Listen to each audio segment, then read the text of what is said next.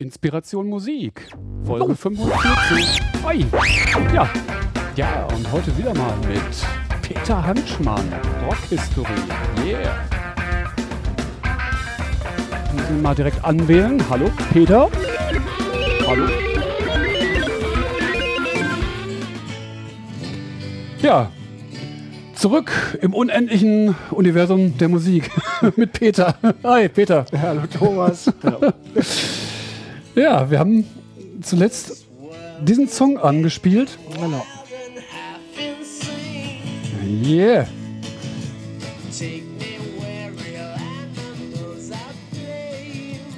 Also diese Band habe ich äh, im Rockpalast gesehen, aber nur im Fernsehen. Das war irgendwie, ähm, ich glaube, es war Anfang der 80er. Hammerband, ja. Äh, Hammerband. Peter zuckt sein, seine Ich unendlichen Eintrittskarten und Ich habe sie live gesehen. Du hast sie live gesehen, ein ne? einziges Mal nur irgendwie. aber das muss aber auch in den 80ern dann gewesen sein, ne? Nee, Weil, nee ich glaube, die habe ich irgendwie. Ich, also entweder ganz spät in den 80ern oder in Anfang der 90er habe ich sie gesehen. Ja, auch mal wieder in Düsseldorf irgendwie. okay, aber ähm, wann haben die sich denn aufgelöst? Das, das war aber doch äh, Also schon aufgelöst haben Ende. die sich äh, 96. irgendwie, 96 erst, okay. Offiziell, soweit ich weiß, haben die sich nie aufgelöst. Es gibt keine Auflösung. Sie haben sich nur Kings. zerstritten Die offiziell. haben ne? sich komplett zerstritten irgendwie und der ähm, gibt ja so eine Brüderrivalität bei den beiden, Ray Ja. und äh, Dave Davis. Und Dave Davis hat irgendwann mal gesagt, sein Bruder Ray, also der Ältere, der wäre so ein bisschen wie Hannibal Lecter. So, und die, die Zusammenarbeit wäre auch so ähnlich wie Hannibal Lecter. Also das ist ein Originalzitat von dem äh, Dave Davis. Und niemand glaubt so wirklich, dass die nochmal zusammenfinden. Aber ja. Die haben sich wohl irgendwie letztes, vorletztes Jahr irgendwie ein Konzert vom Ray Davis. Da hat er seinen kleinen Bruder auf die Bühne geholt und dann haben sie You Really Got Me gespielt. Mhm. Und es gibt seitdem Gerüchte, dass die auf jeden Fall wieder zusammenarbeiten wollen. ja. Und es scheint auch irgendwie tourmäßig da Vorplanung zu geben. So. Ob Also wir da- das noch alle erleben, weiß ich nicht. Aber ich habe es ja wie gesagt mal live gesehen und ähm, Hammer. Also es gibt wenig Performer irgendwie wie ein Ray Davis, der so äh, präsent einfach da ist und einfach tolle Songs hat. Mhm. so. Aber die waren schon, also Ray Davis war immer dem Publikum gegenüber so ein bisschen distanzierter, Mhm. weil so diesen Star-Ruhm um seine Person oder um die Kings, das war glaube ich nicht so sein Ding. Also der war immer so, also, hm, so ein bisschen distanzierter, aber hm, toller Typ. Toller Ja. Typ. Tolle, tolle Gruppe. Ja, wie gesagt, ich habe es nur im Mhm. Rockpalast gesehen, im Fernsehen. Das hat mich auch schon sehr begeistert als Jugendlicher. Ne? Das, ich glaube, das war so Mitte der 80er. Ja, und die sind ja auch eine Blaupause So für vieles, ne? für Hardrock, meinetwegen für auch für Punk oder weiß der Himmel was. Ja. Das sind auch wegweisende, wegweisende Gruppe gewesen. Mhm. So ähnlich wie Beatles, Stones, ich zähle die Kings und die Who definitiv dazu. Ja. Die Kings, wann haben die sich gegründet ungefähr? Weißt du das so? Pi mal Also Daumen? ich weiß, dass die äh, Real, You Really Got Me irgendwie einer auf der ersten mit auf der ersten Scheibe oder auf der zweiten ist irgendwie von 64. Also ich denke mal So früh, okay. so 63, 64 Ja. also haben die sich gegründet. Also im Prinzip so ähnlich parallel zu den Rolling Stones irgendwie Ja. haben die gegründet. Die Beatles waren ein bisschen vorher, aber die kamen so in der Zeit. Ja. Ja, Wahnsinn.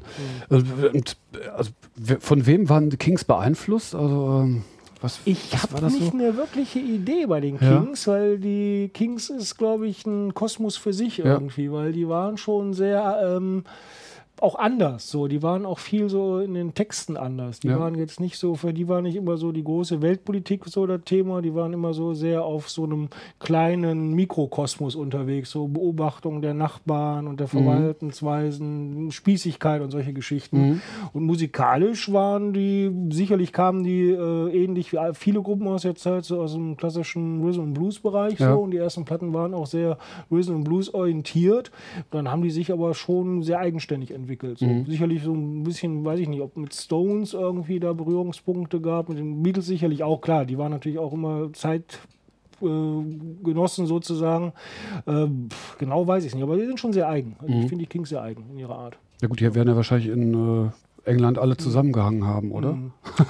Die werden schon zusammengehangen haben, ja, aber bei den Kings irgendwie, also ich glaube, die waren schon sehr, ähm, ich glaube, wirklich ein eigener Kosmos, weil ich, hab nicht- ich kenne nicht so viele Geschichten, wie die da sich mit anderen Musikern irgendwie zusammengetan haben. Es gibt nur die bekannten Sachen, wie sich die beiden Brüder auf der Bühne geprügelt haben. Solche Geschichten oder das irgendwie, das, das natürlich damals in den 60er Jahren alles live, ne, vor Publikum, wo dann irgendwie vermeintlich, ich war ja nicht dabei, irgendwie ähm, aus einer Strei Streiterei heraus, irgendwie, wo sich dann der Schlagzeuger eingemischt hat und der Jüngere, der äh, Dave Davis, irgendwie ein Becken genommen hat und dem irgendwie fast die Kilo durchgeschnitten hat und der muss im Krankenhaus operiert werden, der Schlagzeuger. Also da gibt es übelste Geschichten irgendwie. Aber trotzdem, ich glaube, diese Energie, die die hatten, die haben sie dann halt auch in der Musik umgesetzt. Das gehört schon auch dazu. Das Ja. war jetzt nicht reines Bühnengebären, die hatten schon auch eine ziemliche Power. Ich glaube, das gehört dazu. Tja, krass. Gut, dann hören wir jetzt mal in den nächsten Song rein. Mal gucken, wie der hier. Ja, Was ist von das Anfang jetzt? an, Ja, gerne nochmal von Anfang an. ja, war ja fast. War ja fast. Okay. Ah, dann nochmal. Ah, richtig von Anfang an. Da wir Da höre ich doch einen Wawa in der Gitarre. Ja, definitiv.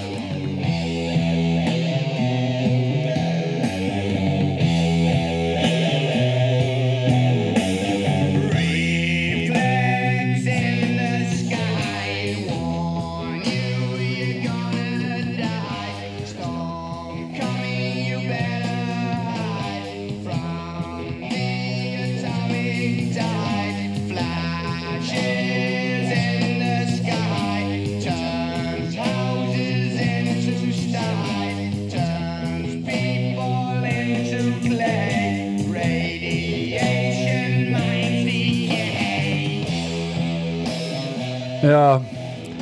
Peter hat gerade nochmal die Eintrittskarte von The Kings rausgesucht. Die fotografiere ich gleich nochmal. Aber ähm, sozusagen der Beweis. Sie- Genau. 87 war es. der absolute Beweis. Das ist, das ist 87, also doch schon echt früh, ne? Ja.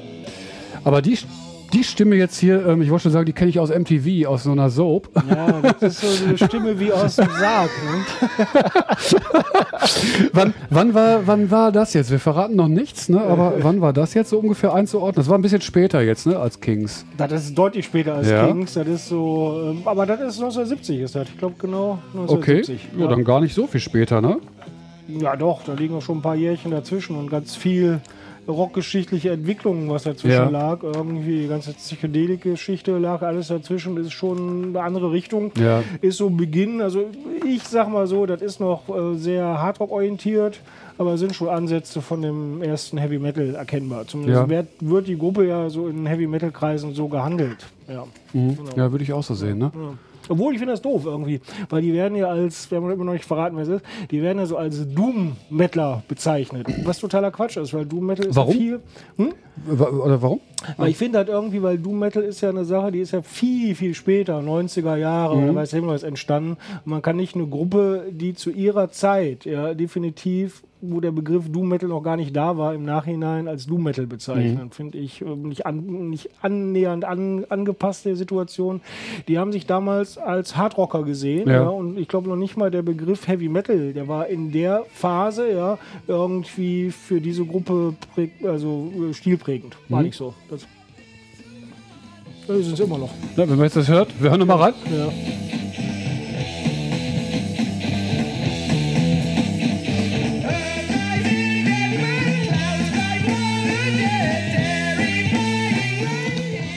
Gut, das ist jetzt kein Heavy Metal, ne? Also für mich Ich jetzt. finde, das ist, nee, aber wie gesagt, Ja, das also- wird heutzutage viel so ein Dings, das ist klassischer Hardrock. Ja. So einfach ist er. Aber dass die, dass die nachher als Band für andere äh, Vorbild waren, die, woraus dann wahrscheinlich auch Heavy Metal entstanden ist, klar, keine Frage. Mhm. Ne? Aber ist, wie gesagt, für mich kein Heavy Metal. Nein. ja, und wer ist es? Es ist Black Sabbath. Ja, genau, ne? Mit dem komischen Ozzy Osbourne. Genau, mit dem komischen Sänger, mit der. Der völlig abgefahrenen Fledermaus-Verspeiser Osborne. Ja, genau. ja. Ist einer der schrägen, schrägsten Typen im ganzen Rock-Business, finde ich. Die Okay. Geschichten, die sich um ihn ranken, die sind auch alle ziemlich schräg. Und der hat schon einiges getoppt. Ja. Das heißt, äh, warum schräg? Also, äh, weil er so exzentrisch ist? Oder, oder weil Also ich der, denke, zum einen ist er ein bisschen exzentrisch, aber zum anderen, ich glaube, vieles war ihm geschuldet, irgendwie schwerer Drogenabusus, in welcher Art auch immer. Ich glaube, der hat irgendwie drogenmäßig auch relativ viel zu sich genommen. Mhm. Und ich glaube, der hat schon nachher einen schon auch ganz schön an der Waffel gehabt. So, muss man aber auch so sehen. Ja. Wie Mhm. Ja. das heutzutage, irgendwie, ich glaube, der hat sich immer berappelt, ja. Aber das ist schon einer, der hat schon einiges abgekriegt. Ja. Na gut, es gab ja diese Sendung auf MTV, ne, wo, Ja, äh, wo genau. er da zu Hause ein bisschen die ähm, Osborns, ja. die genau. Osborns, ne, die Daily Soap oder Ja, sowas genau. in der Art. Ja, ja. Mhm. Und da war er schon ziemlich daneben, ne, würde ich mal sagen. So, ich ja, weiß nicht, ob aber was. hat, hat ja was für die Familie gebracht, ne? Denke ich mal, ja. gehabt. Vielleicht ein bisschen Geld, um jetzt seine neue Karriere wieder durchzustarten. ne? Also Gut, zumindest ganz weg war der nie. Ne? Ja. Der hat ja irgendwie auch nach Black Sabbath hat er eine ordentliche Solokarriere Ja. hingelegt. So, ein paar Hits gehabt, ne? ein paar Hits gehabt und seine Frau irgendwie, die ist ja, glaube ich, so eine Finanztante vom Herrn. Mhm. Die hat ihn ja wahrscheinlich auch das Leben gerettet an vielen Punkten, aber die hat ja noch ordentlich vor sich hergetrieben. Ne? Also der ist schon auch ähm, Solostar auf jeden Fall gewesen, klar. Ja. Ja. Obwohl er jetzt nicht der beste Sänger ist, ne? das Ja. kann man jetzt nicht sagen. Sind wir auch nicht, ne? aber wir können ja, wir können ja mal einen Ozzy Osbourne Song singen. Kennst du I'm Just a Dreamer? nee, lass mal das. I'm Ich just a. Ja, genau. dreamer. Ja, das war jetzt spannend, ne? Black Sabbath. Ähm, jetzt äh, gucken wir nochmal. Was, Nochmal? was, was gibt's denn noch so? Was haben wir denn da? Haben wir noch ein bisschen Zeit? Ja, so ein klein bisschen Zeit. Ja, da kommen wir ganz anderes.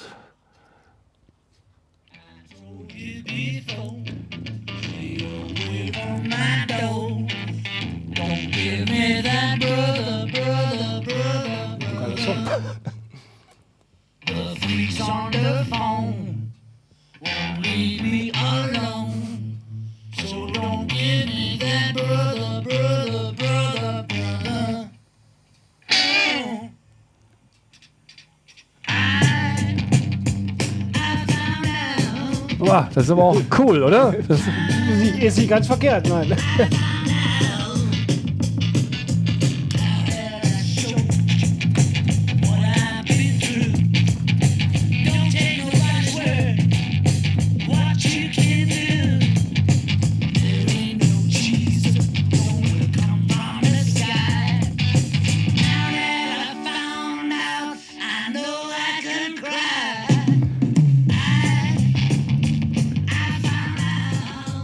Finde es extrem cool, aber ich muss wirklich jetzt gerade passen. Passen, echt? Ja? Ich bin- also die ich bin- Stimme, die ja. Stimme ist doch irgendwie ja, es, ich kenne es, ich kann es aber nicht, nicht zuordnen. nicht zuordnen gerade. Soll ich's Umsch-? Umschreib's mal. Also, äh, welche, welche Epoche?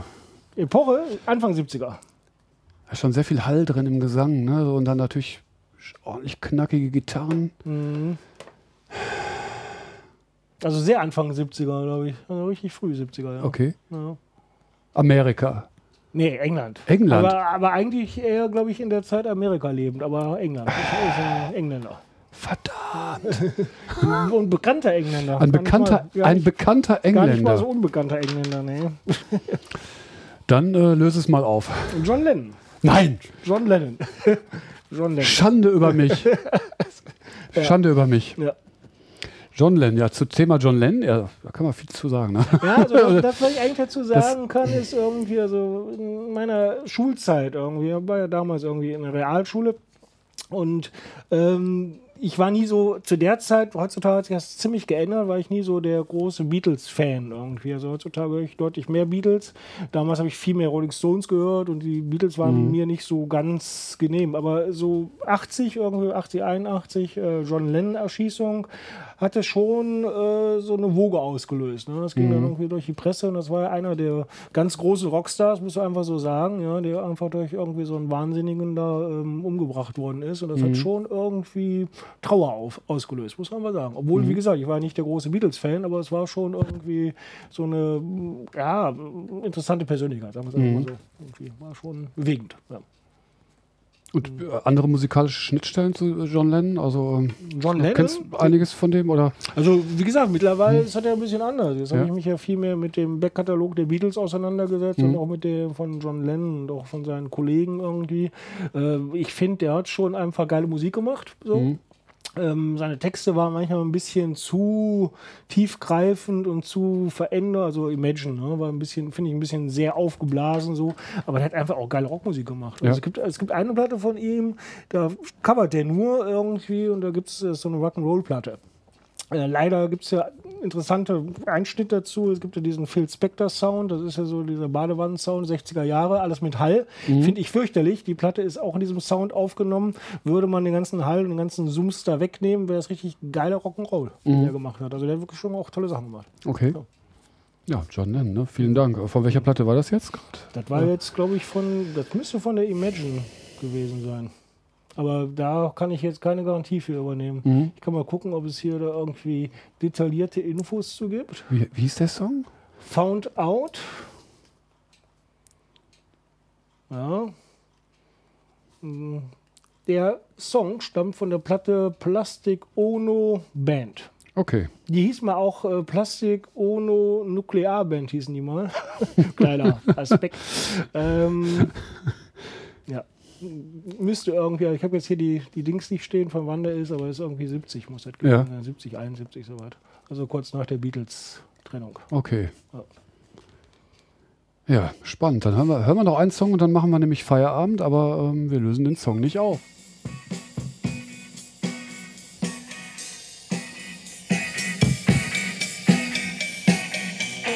Schlagzeugstunde oder? Was? Schlagzeug? Schon ein Song, oder? Why do I go through these deep emotional traumas? Why can't I be like I always wanted to be carefree? Why can't I be happy like everybody else? There's no peace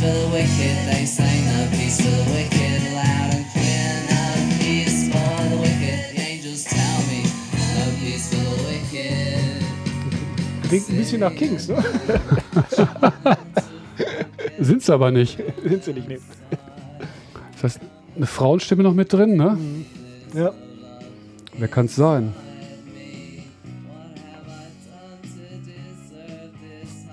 Tja, Meine ist ich, das Thema Auflösung das nächste Mal? Genau. Ach ja, stimmt. Wir machen die Themaauflösung ja nächstes Mal. Dann äh, vielen Dank. Ne? Ja. Bis demnächst. Tschüss, Peter. Ja, ciao. Yeah.